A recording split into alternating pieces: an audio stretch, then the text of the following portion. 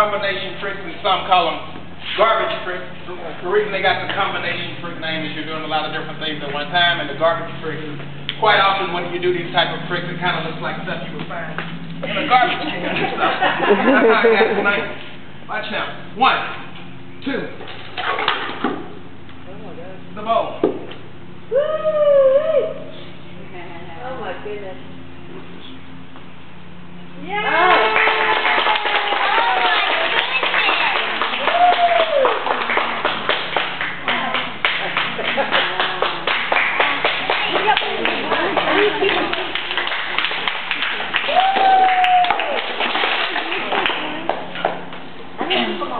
There we go, guys. Right. Hey.